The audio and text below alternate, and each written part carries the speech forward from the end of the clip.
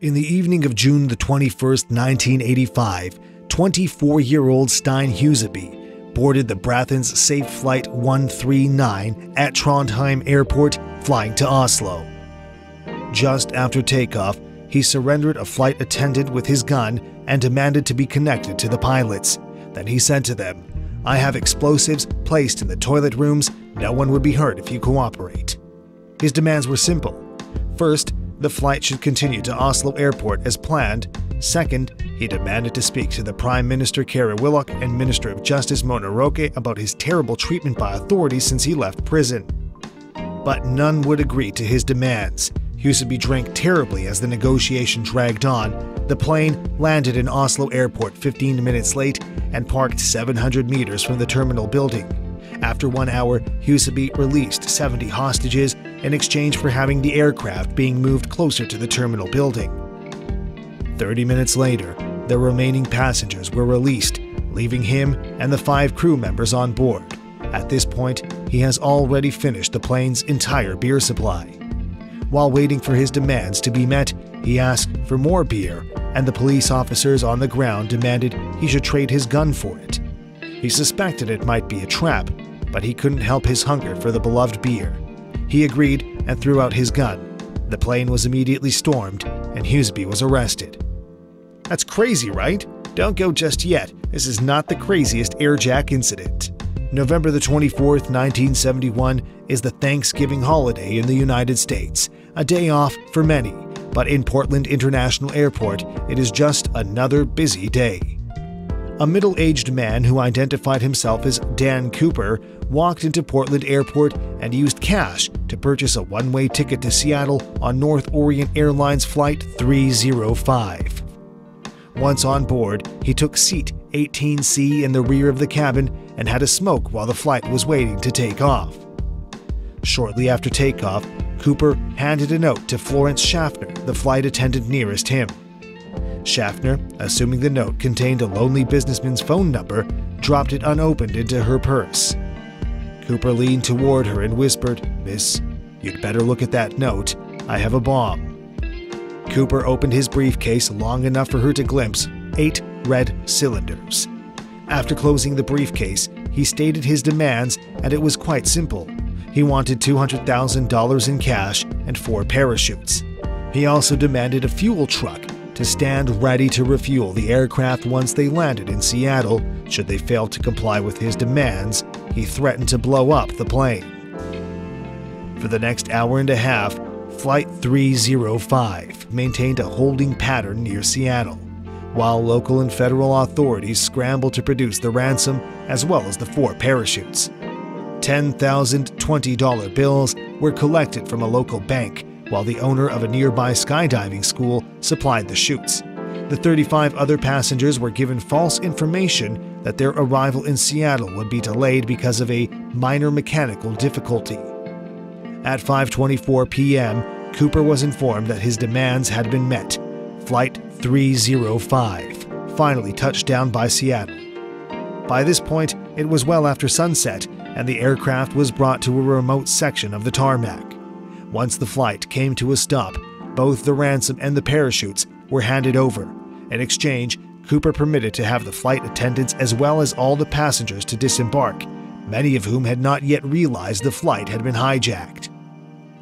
With a ransom paid and only four crew members remaining on board, Cooper outlined his flight plan to the cockpit crew that he wanted to fly to Mexico City. He demanded to fly with the landing gear down, the flaps at 15 degrees and below 10,000 feet. The lights and the cabin were to be switched off, and the aft stairway, which opens from the underbelly of the fuselage, was to remain extended. Two of Cooper's demands could not be satisfied. First of all, the flight configuration he requested would not allow for a non-stop flight to Mexico City. The aircraft's range was limited to approximately 1,000 miles under that specified flight configuration, which meant that a second refueling would be necessary before entering Mexico.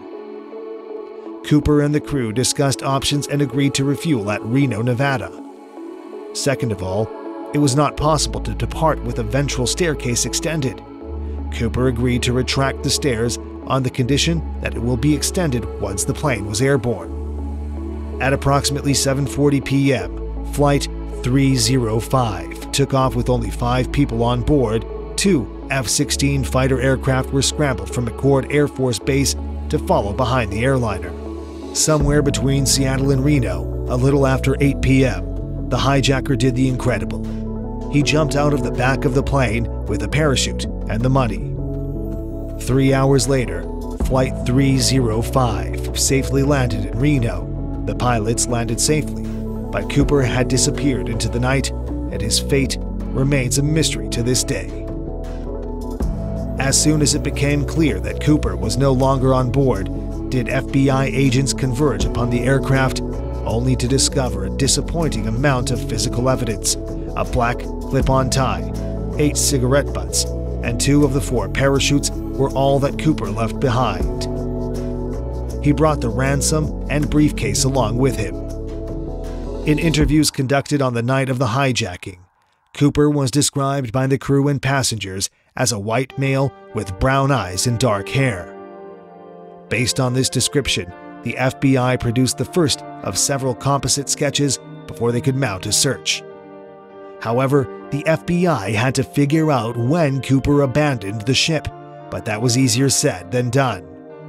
None of the four crew members witnessed Cooper jumping from the plane, nor the pilots of the two fighter jets which escorted the flight between Seattle and Reno, which is not all too surprising, given it was the middle of the night. The FBI mounted an impressive search operation using helicopters, airplanes, and ground troops. The loosely defined search area covered a vast stretch of mountainous wilderness. It was like finding a needle in a haystack. Apart from the difficult terrain, the search was further complicated by low temperatures and inclement weather which persisted for days. Despite their best efforts, authorities never managed to find a single trace of Cooper nor the items he brought along with him. Having made little to no progress by early December, the FBI turned their attention to the $200,000 ransom. The money had been collected from the Seattle First National Bank, which maintained a ransom package of $250,000 just for such an occasion. Because of this, the serial numbers of the $10,000, $20 banknotes given to Cooper had been documented in advance. The serial numbers were quickly made available to financial institutions, government agencies, and the general public.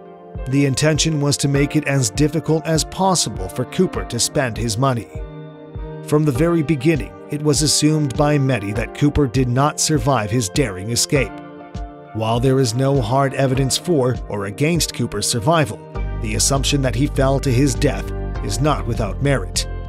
When Cooper leaped into the darkness, Flight 305 was plowing through a rainstorm at roughly 170 knots and 10,000 feet above southern Washington, and wind was so violent. To say that Cooper was not dressed for the occasion would be an understatement. The ground beneath him, meanwhile, was obscured by multiple layers of clouds, which likely means that Cooper jumped without knowing his precise location.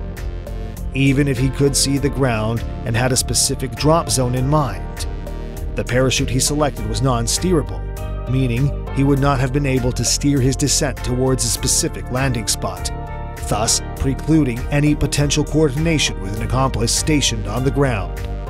Clearly, Cooper's escape was much more of a leap of faith than a carefully executed jump.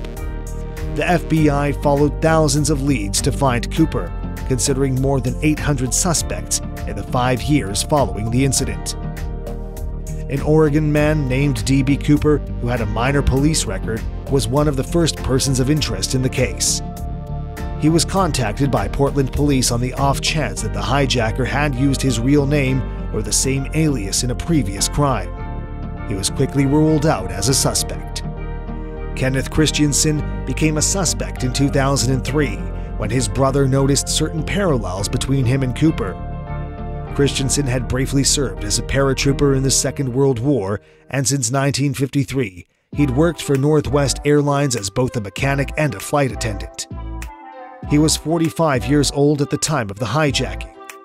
He was left handed, which Cooper might have been because Cooper used his left hand to interact with his briefcase, and the clip on tie he left on board was applied fixed from the left. Shortly before he died in 1994, Christiansen had supposedly told his brother, There is something you should know, but I cannot tell you. After his passing, his family discovered over $200,000 in his bank accounts. To top it all off, Florence Schaffner stated that photographs of Christiansen brought a strong resemblance to Cooper. On the other hand, Christiansen did not match the physical description of Cooper. He was both shorter and lighter. While Schaffner did see a strong resemblance, she remarked that Cooper had more hair, and that is supported by the composite sketches, and there was nothing suspicious about the large sums of money which he'd simply earned by selling land. Duane Weber first became a suspect in 1995 when, shortly before his death, he supposedly told his wife, I've got a secret to tell you, I am Dan Cooper. Following his deathbed confession, Weber's recall a number of fascinating details. She claims she found a black back resembling the one used in the hijacking. She claims Weber had sustained a knee injury after jumping out of a plane. Weber supposedly had a nightmare about leaving his fingerprints on the aft stairs. In addition, Weber was a World War II veteran. He had an extensive criminal record. He matched the physical description, and he was 47 years old in 1971. On the other hand, Weber's fingerprints did not match any of the prints collected from Flight 305. Although, to be fair, there's no way to know if any of those prints belonged to Cooper. Furthermore, Weber's DNA did not match a DNA sample collected from the tie clasp, but once again, there's no way to know if the DNA off the tie came from the hijacker and not someone else.